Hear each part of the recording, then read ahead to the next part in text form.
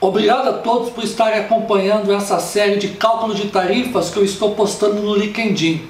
Parece estranho eu estar dando um treinamento de cálculo de tarifas e falar sobre contrato, algo tão teórico assim, mas na verdade, contrato aéreo é a base para qualquer agente de viagens fazer uma reserva e uma emissão com segurança.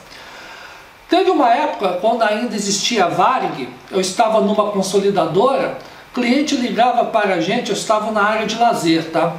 E aí o cliente ligava, na mesma hora que a gente atendia, a gente fazia cotação, montava quatro, três cotações e já tentava já vender para ele na mesma hora, pegando a comissão que a Varig pagava.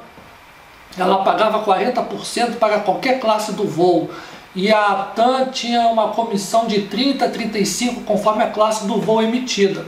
Então a gente fazia o cálculo da tarifa e sobre aquele valor a gente tirava da comissão da agência um percentual para dar um desconto.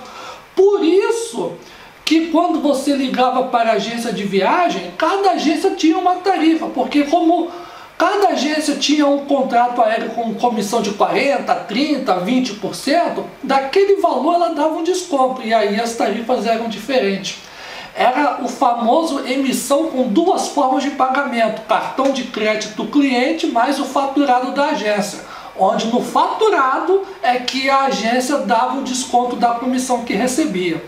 Mas hoje em dia isso não é mais possível porque todas as passagens aéreas, com todas as companhias aéreas, não são comissionadas.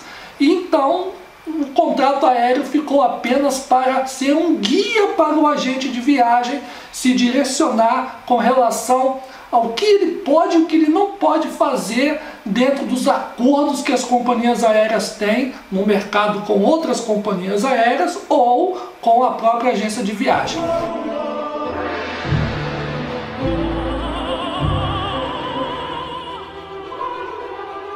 Nesse próximo sábado tem a segunda parte desse treinamento e garanto que vocês vão se impressionar com o que vocês vão ver.